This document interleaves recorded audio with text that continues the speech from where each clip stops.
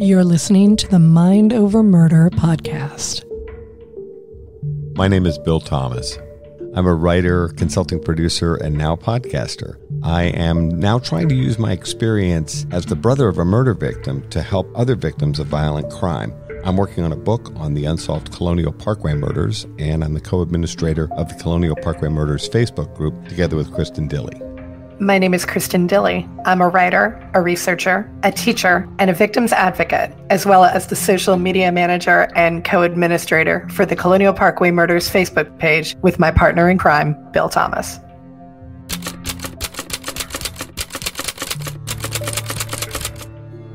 Welcome to Mind Over Murder. I'm Kristin Dilley. And I'm Bill Thomas.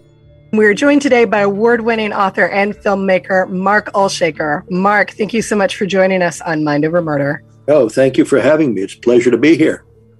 We're pretty excited about this. We've been trying to get you for the longest time, and now you finally said yes. I no, didn't know it had been that long. No, we're completely teasing. Kristin asked, and you said yes, and we very much appreciate it. And you didn't keep us waiting at all. I do have a new book out now, so that's another reason. Yes. We are so jazzed to talk about it. Before we get into the book, start by telling our listeners a little bit about your educational and professional background. Oh, okay. I have a college degree, and that's about all. I was an English major, actually American literature, because that was one of the few fields that didn't have a comprehensive exam at the end, and I was lazy then. But I've been a writer and a filmmaker longer than I, I care to admit at this point, mainly doing documentary films for PBS on a whole range of subjects. I've written a number of and published a number of novels, beginning with the one called Einstein's Brain when I was a very young man. And uh, for about the last 20 years or so, I've been writing books about true crime with John Douglas, the FBI's behavioral science pioneer, among other things. So that's kind of me in a nutshell. How did you partner up with John Douglas? Was it were you guys working together on a special for PBS? I know you did. Well, it's, it's an interesting story. I had been writing and producing some documentary films for Nova, the PBS science series, mm-hmm. on various subjects, public health, things like that.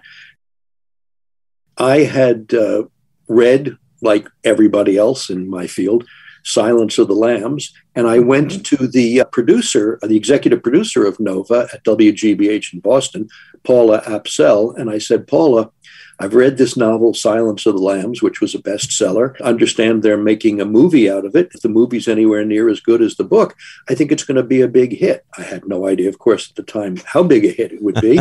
but I said, why don't we go behind the scenes and tell the real story behind these profilers and behavioral scientists at the FBI Academy in Quantico. And at first, she was a little skeptical. She said, It's psychology, it's soft science, we do more hard science. I said, Yeah, but I think it would be really good and it'll get big ratings.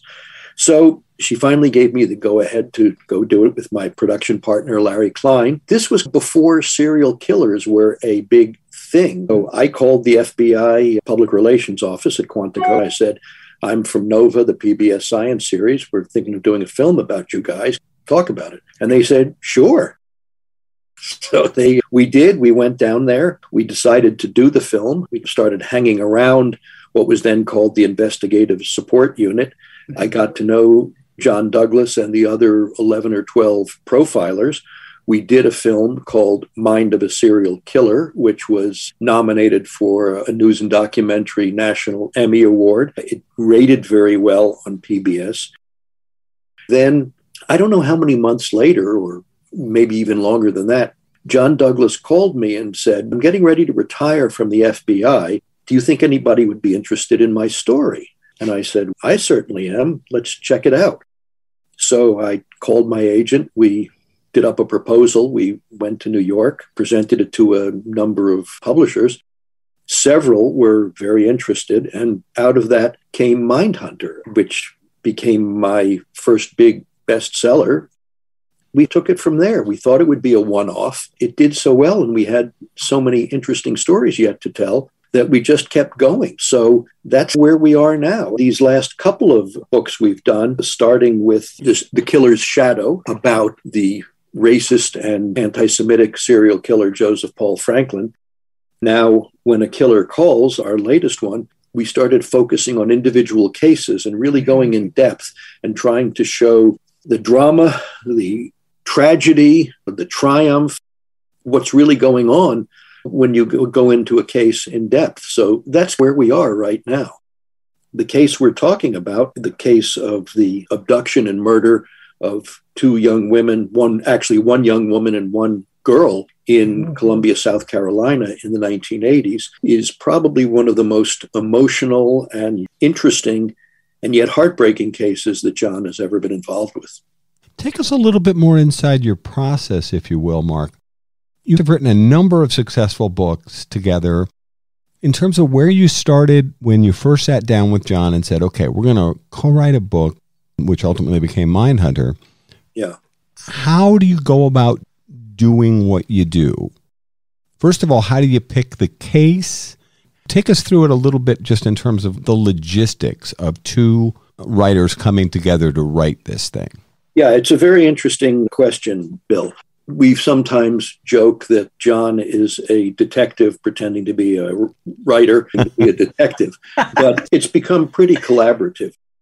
When we first started, I just debriefed him for weeks and weeks. We recorded everything. Our research assistant, Anne Hennigan, took notes and wrote up everything for us so we would know what we were talking about and Anne is still with us after all these years. I just wanted to get into the depth of it, how he thinks. One of the things you all probably know from reading Mindhunter and watching the Mindhunter series on Netflix is when you interview successful, which means serial killers, predators, and rapists in prison, you're looking to correlate what was going on in the offender's mind before, mm-hmm. during, and after the crime. By the same token, I wanted to know what was going on in John's mind as he approached each of these crimes and how it worked and how he came to the conclusions he did, how he interacted with local police and detectives and other FBI personnel. In so doing that, I also picked up a sense of the rhythm of how he talks. So once we finished all of that, then we went over all the cases and said, all right, we'll start out talking about how you got into this. Then let's pick cases which we think really show something about how the process worked and also show something about how the criminal's mind works. One thing I should say right now that we've tried never to do, and I don't think we ever have, is to try to in any way glamorize the killer or the predator or the criminal in any way. These people are not glamorous. They're not Hannibal Lecter. Thank God there aren't any real Hannibal Lecters. We also wanted to, at the same time, really personalize the victims and the detectives and the police officers, the sheriffs, the people who really dedicated their lives to bringing these people to justice. Those were our ground rules going forward. It was a question of telling stories. And I've I appeared once for Kristin's English classes, I think, and we talked about how you put together a story. And I think to me, the key is I always want my readers to be asking, what happens next? So we certainly want to tell the real story, but we want to tell it in a way that's revelatory and that you learn things as a reader at the same time that the detective, the profiler, or the investigator learns them. So that's where we started from, and I think it served us well. And I hope that my novel writing skills, I published five novels, I think. I hope that my novel writing skills have helped to make that process work. I binged your most recent book about in about five hours on our most recent snow day down oh, here wow. in Virginia. and Put it down, first of all you are right. It is probably the most gut wrenching and emotional of all of the cases of yours that I've read. I should mention to our listeners that I have read every single book that you guys have put out. God bless you, Kristin. She's going to keep that business going. I am 100%. What is the deciding factor on the case we're going to cover for this book? This most recent book with the Shari Smith case. It is gut wrenching. How did you guys decide that you were going to tackle that? That had to have been very emotionally difficult. Again, a very interesting question. Several books ago, we sat down with our edit Matt Harper in New York. He proposed that we start doing this series of individual cases mm. to go along with the books we've written about larger themes. we said, okay, what do you have in mind? What cases do you think we ought to do? Whatever you want, and just decide a criterion for choosing them. I said, I think the criterion should be what's most interesting. And I said, I'm not sure how to define that. He said, here's a thought. What about cases that affected John most profoundly? And it could be affected him in an emotional way. It could be affected him from a procedural way in terms of how you go about investigating a crime, or what you learned from it that, uh, that really advanced the technique of criminal investigative analysis and behavioral profiling. So we thought that was a pretty good way to start. He said, Give me offhand the first couple that you'd like to do. And we thought about it and we said, The Joseph Paul Franklin case, very useful in this way. I say useful in a very professional sense because it's a very gut wrenching case. Yeah. But it was the first time that a serial killer had been motivated essentially by racial and religious hatred. Mm. He was a very interesting case in that he wasn't confined to one place, one method of killing, or one geographical area. He was all over the place. And even at one point, we think contemplated killing a president. So uh, this was somebody who was very difficult to catch, very difficult to understand, we thought this would be a very interesting case. The other reason that it was so important is a serial killer who kills because of some kind of sexual perversion or sadistic nature. Maybe other serial killers, a few of them might imitate him, but nobody's going to look up to him. The thing mm-hmm. about Joseph Paul Franklin, he had been in the Ku Klux Klan, he'd been in the National States Rights Party, he'd been in the American Nazi Party. He quit all of these because he thought they were all just talk. He actually wanted action. He wanted to foment a race war. The thing that was so scary about him is he is the kind of person who, if you get the wrong kind of person, and there's plenty of them in this in this country now, mm-hmm. will actually look up to somebody like this. If you look at Dylann Roof, who killed all of those um, black parishioners in South Carolina, he was, in a sense, Joseph Paul Franklin's spiritual child. Right. Like Franklin, he wanted to commit himself to fomenting a race war. And he thought that whatever happened to him, it wouldn't matter because once the race war happened, his com- comrades would break him out of prison, and that would be that.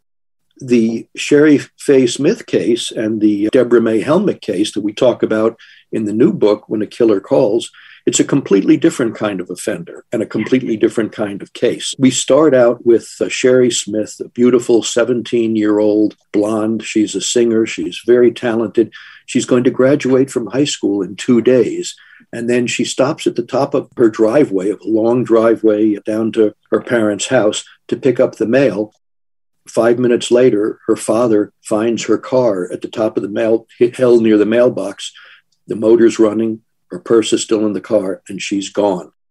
It triggered one of the largest manhunts in the history of the state.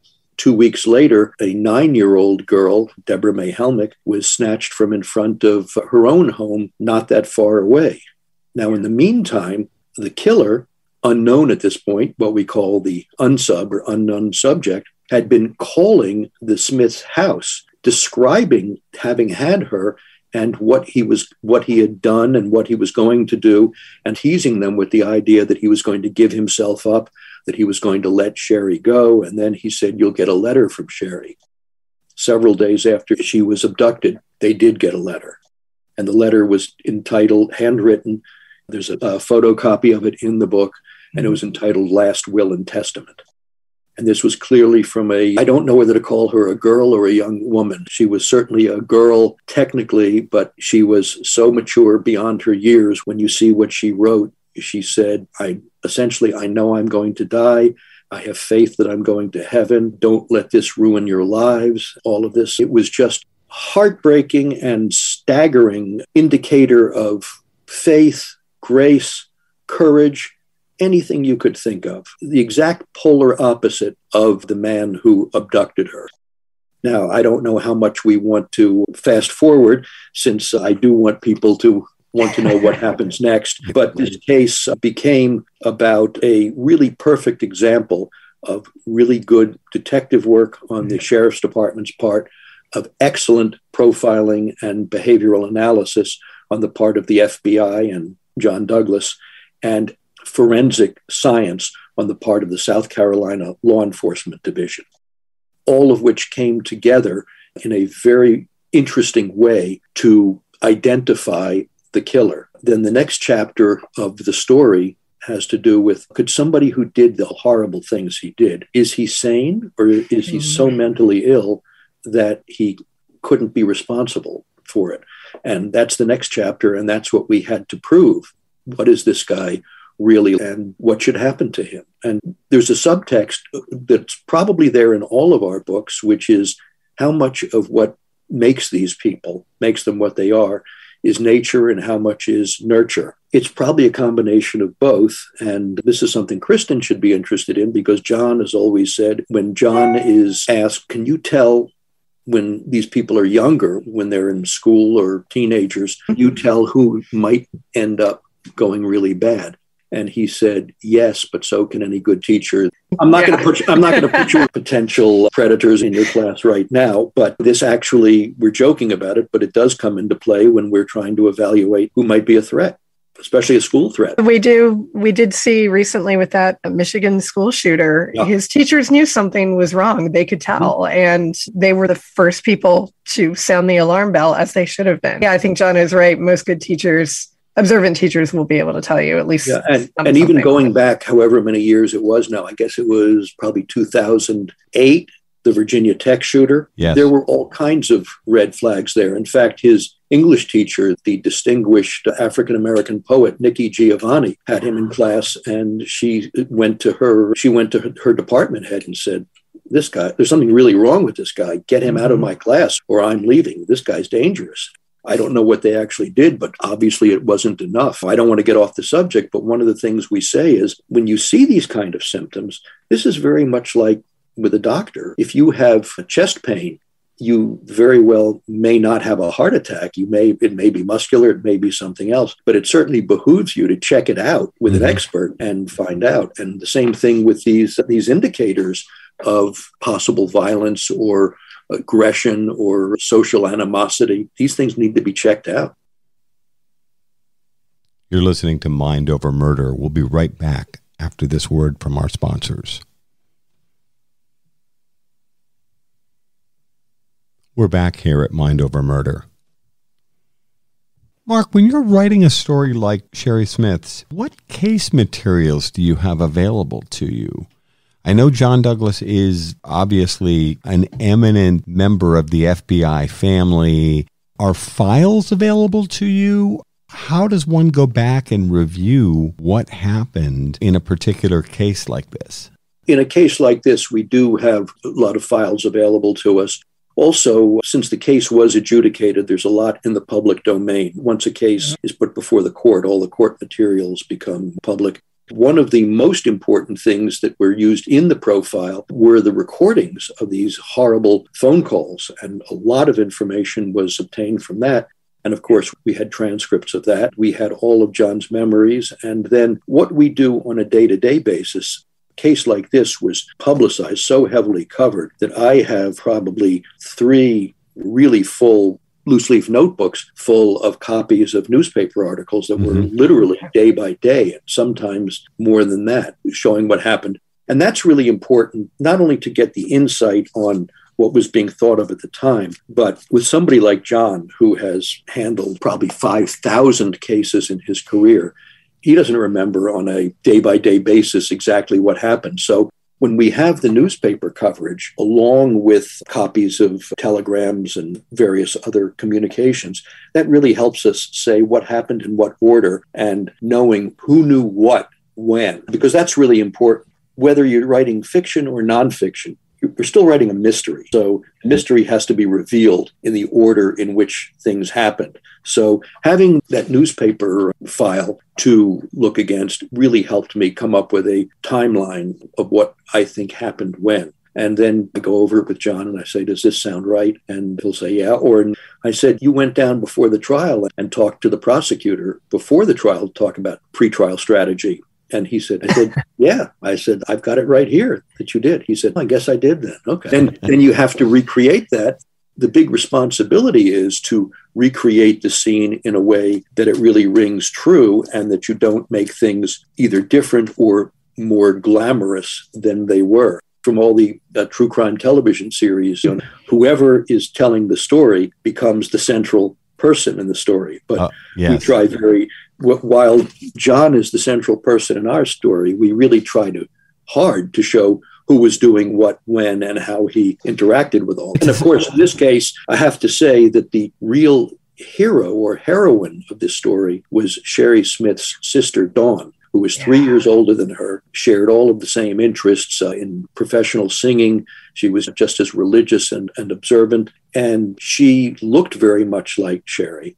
Mm. John ended up at great emotional cost to all of them, to the family, certainly, and to Dawn, he ended up using Dawn as bait to lure the killer out because he clearly was so obsessed with Dawn.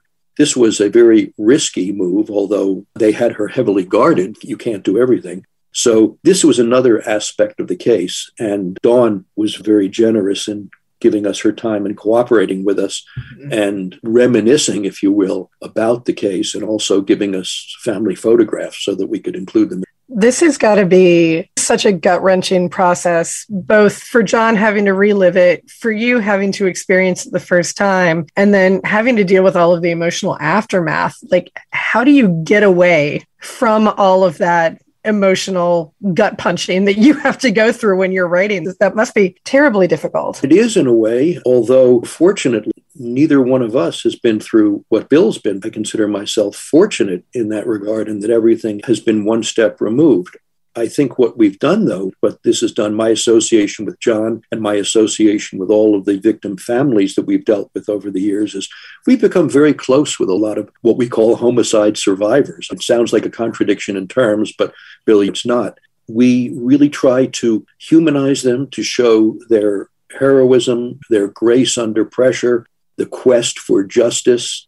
There's certain words we never use that we consider curse words, like closure, for instance. We know hmm. there's no closure. But, Thank you very but, much. Uh, we know things change, but they never close. That's a hole that, that stays there whenever you lose somebody like this. That part doesn't change. But Shari was such a, I don't even, a gift of God, if you will. I don't know what else to call her that she could see her whole life ahead of her. And then within minutes, her whole life was changed and she wouldn't have any of that.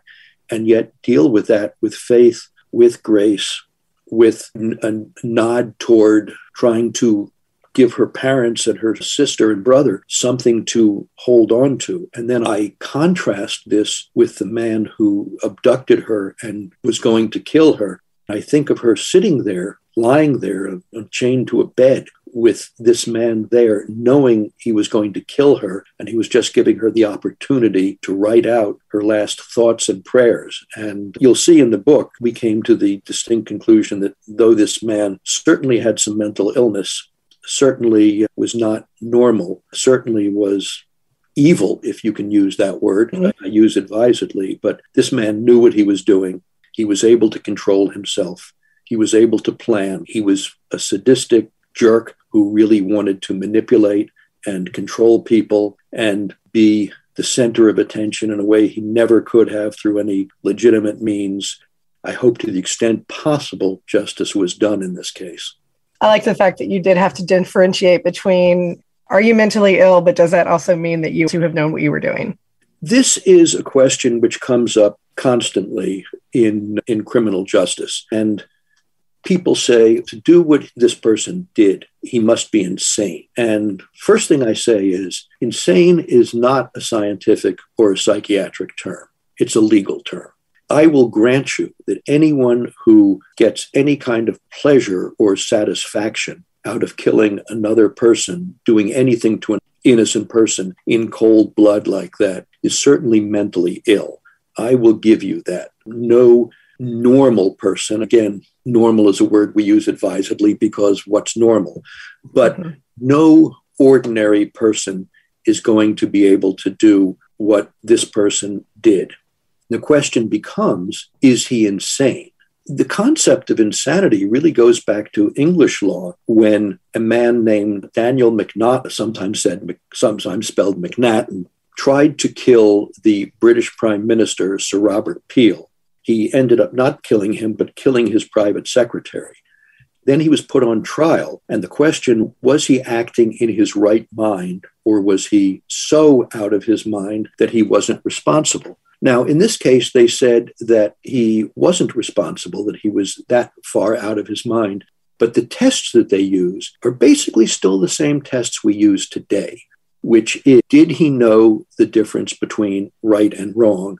And was he able to conform his behavior to the dictates of society. Now, you notice I use his because it's almost always yeah. a him times a woman, but not enough to for us to make that distinction.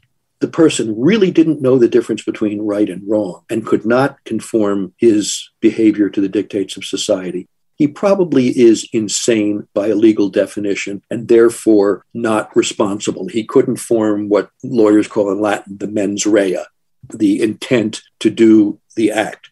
But we also have another test, which is generally called the policeman at the elbow test, which is if this person would have committed the crime with a uniformed police officer standing right there, there's a good chance that person was insane. But if he would have controlled himself and not done the crime, seeing a uniformed police officer in view, then he probably had enough ability to conform his behavior to the dictates of society that he was not legally insane.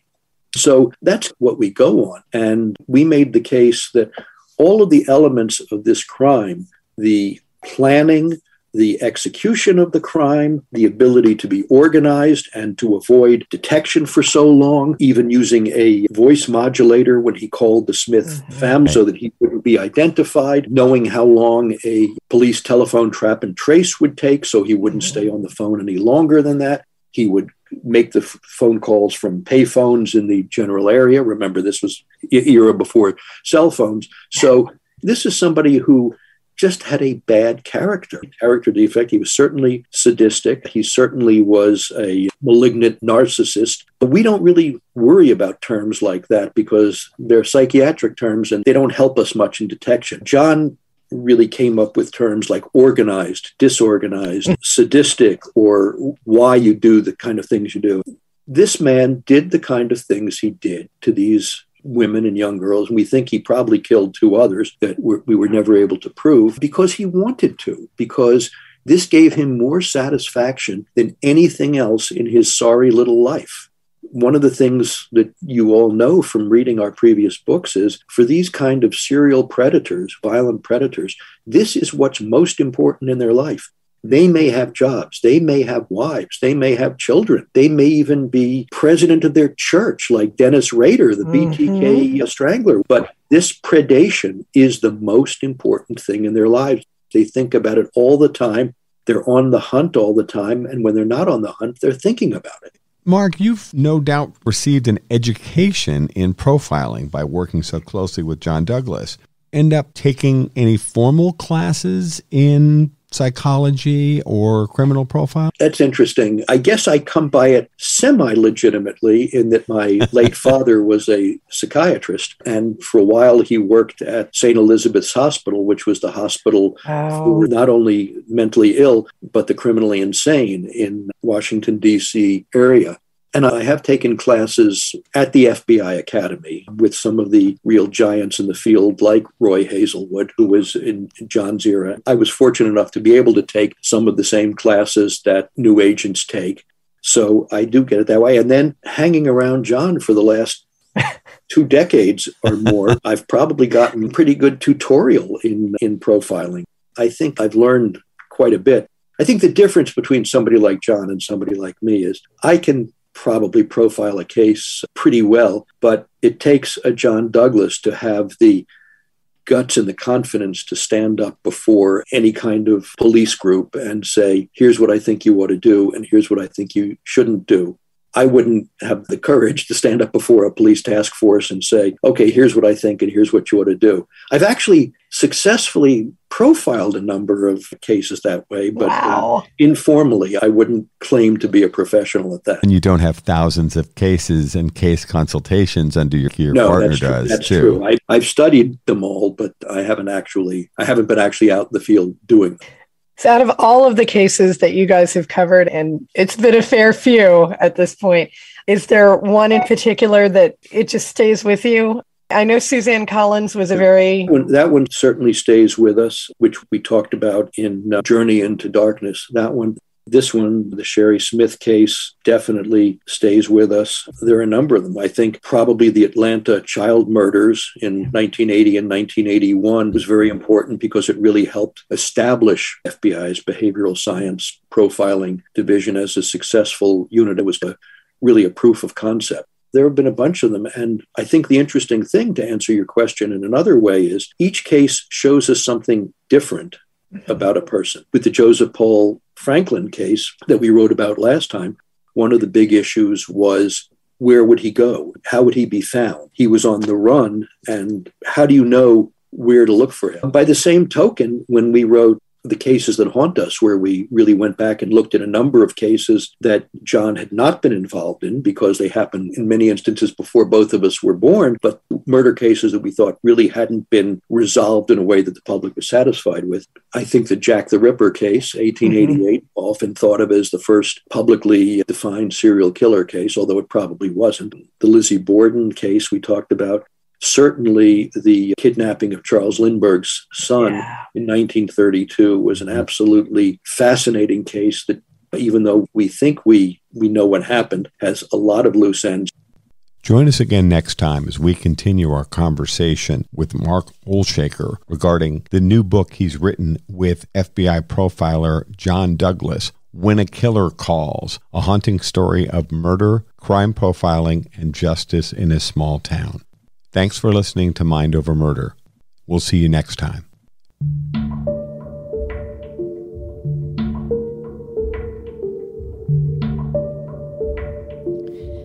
Mind Over Murder is a production of Absolute Zero and Another Dog Productions.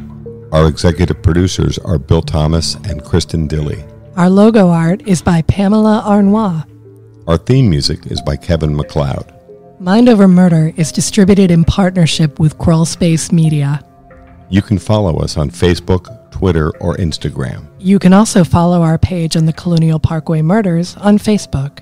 And finally, you can follow Bill Thomas on Twitter at BillThomas56. Thank you for listening to Mind Over Murder.